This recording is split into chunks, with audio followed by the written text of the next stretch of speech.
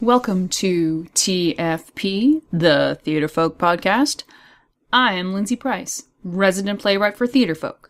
Please, do not lower the safety bar. I will do it for you. Hello, I hope you're well. Thanks for listening.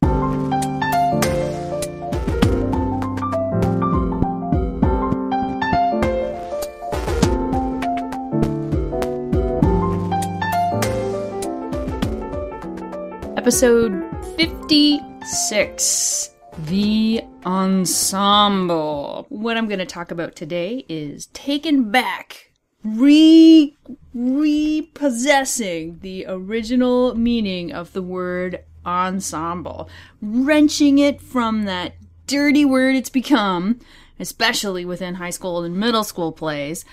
And what are some exercises that can make casts divided work together as a whole, as a community, as an ensemble? So the word ensemble has uh, more than one meaning these days. In the theater, the word has come to represent a division. Here are your leads, here are your less than leads. If you're in the ensemble, sometimes that means you're not good enough. And that is such a damaging stigma.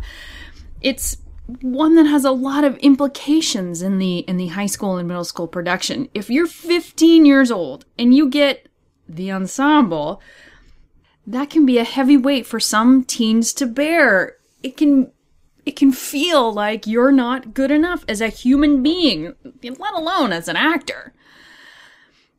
And I get that feeling. And I get that you want to be the star. I get that many find their way into the theater because there's a desire to be front and center. You know, they want to be the ones chewing the scenery, in the spotlight, getting the applause. They want the accolades, to be the one who says, You love me! You really love me! At the school level, I have seen actors get a script and start counting their lines. I've seen them get into a one upmanship. I'm better than you because I have more lines than you. I've seen young actors puff up at being the lead and deflate at only being in the ensemble. Uh, there's a stigma. There's a difference. The division. But the origin of the word ensemble comes from the exact opposite place. If you look in the dictionary, if you're one of those folks, I am one of those folks. I have uh, dictionary.com on speed dial in a bizarre way. but uh, the origin of the word ensemble comes from Latin, then through French, for all you spelling bee junkies out there, to mean at the same time. No division, but something together. And because now it's in my head, because I said it, so side tangent, I used to love, I love words, and I used to love watching the the National Spelling Bee. But I really miss the old days when they just, you know, used to put the spelling bee up in the afternoon on a Sunday on PBS or something, very small, very low key, and just the, the kids and the words. And instead of the way they have it now, trying to present all these story packages and making this event all flashy. It's not flashy, it's a spelling bee. It is theater though. There's so much character and subtext. Oh, to see these kids, some of them who've never seen the light of day struggle with the word. And then there's that bell, and you can see the crushing defeat of generations in their eyes. Or when they get the word and the smell of victory. Oh, it's an amazing thing to watch as a uh, as an as as an observer of of humankind. Oh, it was so wonderful when it was just the kids and the words. And I don't like 25th uh, annual Putnam County Spelling Bee. There, I said it. I don't I don't like the songs. I don't like the characters. I think the songs are unmemorable. There, I said that too. Huh. Back on tangent. Ensemble. The word originates with the concept of all at the same time. And adding on to that, it has evolved into meaning that takes individual parts and puts them together towards one whole. For example, uh, a unit or group of complementary parts that contribute to a single effect. All the parts of something considered together and in relation to the whole, the general or total effect of something made up of individual, of individual parts, all together, all at once. This notion of all the parts working together towards one whole is what I envision when I think of the word ensemble. That's what I always loved about being a part of a play. Being with a group where we were all in the same boat, you know, going in the same direction.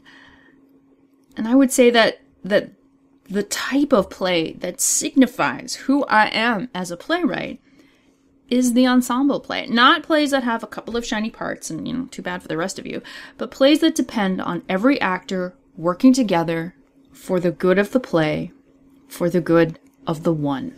And this attitude, I guess, is how we deal with the stigma of the ensemble being second class.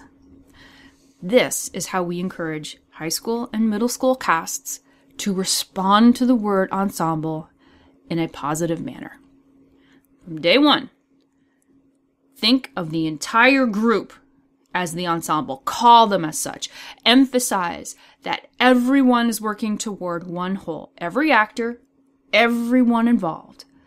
That an ensemble is all parts together and only works when every part is cohesive together, not one side here and one side there. An ensemble is a community. And that is what the cast of a play should be. It's not about me or I, it is about us and we. We belong to a community, the production, the company of players. And to get this, you know, it lies in in the director or the teacher. You know, they got to set the tone to make this happen. what does that mean? And that means uh, teaching the community to work together from the first rehearsal.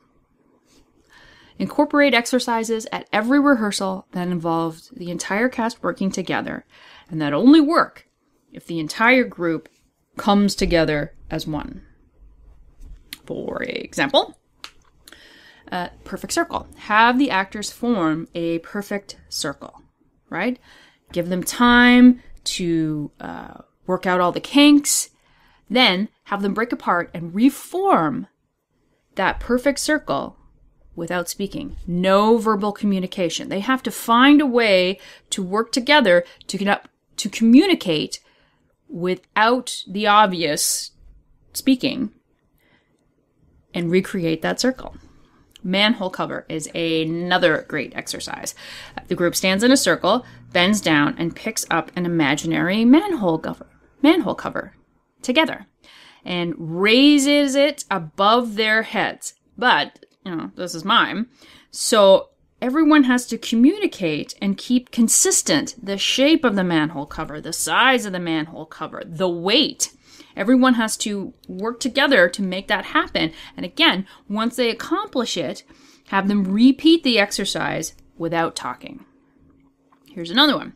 Cir- the uh, group circle jump. As a group, everyone has to jump up at the same time and then land while making as little noise as possible on the landing. And once they get that under their belts, repeat the exercise again without that verbal communication. So these are the kinds of exercises I mean. They they depend on the group as a whole and only work when the entire group is a cohesive whole what else? Uh, the group mirror game. So everyone has done the mirror game in pairs, right? So how about in groups of four or eight or 12? Or what if there are four mirror leads across the front? How do they work together? And how do those following work together to create this one massive, um, who's the leader? Who's the follower? Everyone is a community being the mirror together. Uh, practice unison speaking. Pick a poem or a tongue twister. You know, why not make it a vocal exercise as well? Unison speaking is very much a listening activity, and that's really important too when you're building a community, right? So it's not just about, you know, me, the actor, only focused on what I have to say and who cares about the rest of you. If you can build a community of listeners, of listening to what someone else is saying or doing, so that if they get into trouble, you know, they can help each other out because they've been listening. They know what's going on. They work together. They help each other out. So with unison, you have to listen to what's going on around you. Listen to the pace of the group instead of just, you know, forging ahead on your own. So these exercises, of course, seem like games, right? They are games. But they're also skill builders. They push your cast to see each other as teammates and that the whole of the game can only succeed if they work together, which hopefully translates to the whole of the production can only succeed if they work together. That is the key to the success of the ensemble community. Now, having said all that is great. It's uh, lovely. It's fluffy bunnies. It's unicorns. You know, We're we're a community. Yay! but what do you do if you you have a play that is set up to exploit that division of here are the leads and here is the ensemble? It happens, right? How do you encourage the ensemble players that they are indeed part of the production community and that they are just as important as the leads? It's easy for uh, ensemble players to fall under the spell of that stigma and just drop out, stop trying. I firmly believe that the ensemble is just as important as the leads because they help create the world of the play. When I was an actor, briefly, very briefly, I was almost always in the quote unquote ensemble. And funnily enough, I enjoyed it. I was pretty good at it. Uh, I was good at being a part of the atmosphere, not like wallpaper, a static lamp, or a tree. I enjoyed being a character in the scene, keeping focused on the action, even if I wasn't active in the dialogue, you know, always staying in the world of the play. My uh, favorite part of all time to this day had four words yes, yes, hello, sorry. Two hours, four words. And yet, I got a ton of feedback from that part because people saw me. I was a living character in the world of the play, not, not wallpaper, not stealing focus, but not moping in the corner because I didn't have more lines or, you know, more to do. And when I'm in the audience, I will find my attention drifting away from the main action to see what those ensemble folks are doing or not doing. I am sometimes amazed at how little actors engage when they're in the background. Just because you're not talking in a scene does not mean you're invisible. If you can see the audience, they can see you, and I am watching you. if you're not in the moment, eh, you know, if you're picking your nose or scratching your butt, the audience can see that. If you're not in the world of the play, you're creating a distraction for the audience. And that means they're not in the world of the play. And that is a problem. So I can say till the cows come home being in the ensemble is great. But if the actors are entrenched in their belief of the ensemble as a second class, this issue needs to be addressed. So, how would you do that? Um, I would have rehearsals just for the ensemble. Don't ignore them. It's easy to do because you may be working on a demanding play that requires a focus on the main action. But if you're if you want to create a community feeling, the ensemble have to feel like they are part of the experience. Uh, for example, making sure that each ensemble character has a name and a background that uh, that helps the world of the play. Uh, make them think about how they interact with each other in character, of course, while the main action is going on. And this is not about giving them stuff to do that's going to steal focus or upstage the play, but it's all about atmosphere.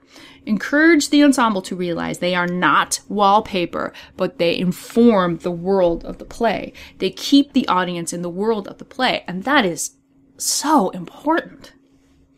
And frankly, you never know what is going to spark the interest of an audience.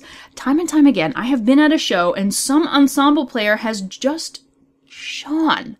Not because they're hogging the attention, because they are so in character, they are so part of the atmosphere, they are a delight to watch.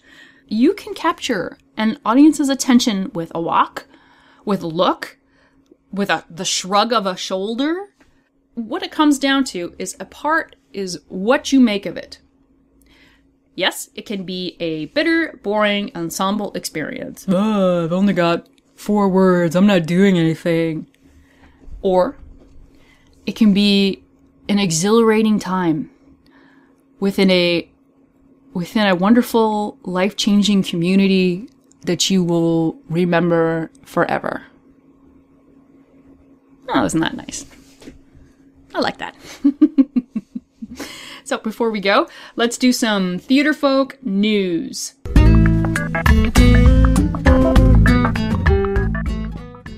It is a play feature.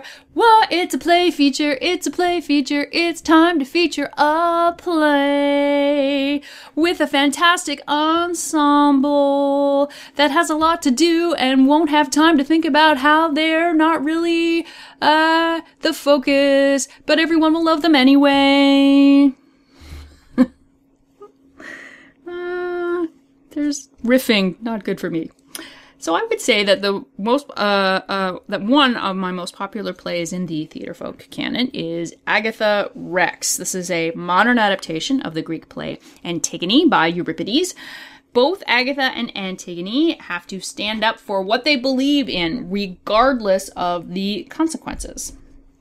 In the modern version, Agatha is not left with a life or death choice, die or apologize, uh, but her actions will change her life. She could lose everything she's worked for simply by standing up for a brother who may or not be worth standing up for. And uh, so we're talking about ensemble today. Agatha Rex is a great example of an ensemble that has a lot to do and can't stand around being wallpaper. The Greek the Greek chorus in the original is transformed into an ensemble of high school students frankly, it's the toughest part in the play. They set the scene, they set up the world of the play and its characters, like uh, uh, Creon, who is now transformed into from king to principal. Dr. Creon leads our school. He has the right of way. It feels just like an army camp. Death before disobey. He's very strict and by the book. He won't sway left or right. You break the rules, you play the fool. You're out without a fight. It's not that we would wish him harm or cause him any pain, but we would feel much better if he was declared insane. The ensemble acts as foils for Agatha, both encouraging her to act and then backing away when she asks for their help. They are the atmosphere. They they act as the voice of the student body and they have to do it in unison. What dirty deed's been done? Who's lost before they've won? Who fell from the tower in their final hour before the light of sun. That's Agatha Rex. You can read sample pages over at theatrefolk.com and see a ton of pictures from sample productions. Go, read, buy, do it. Lastly, where or where can you find this podcast? We post new episodes every Wednesday at theatrefolk.com and on our Facebook page and Twitter. You can find us on youtube.com slash theatrefolk. You can find us on the Stitcher app and you can subscribe to TFP on iTunes. All you have to do is search on the word theatrefolk. And that is where we're going to end. Now, I will raise the safety bar and a ghost will follow you home. Kindly watch your step, please. Watch your step. Take care, my friends. Take care.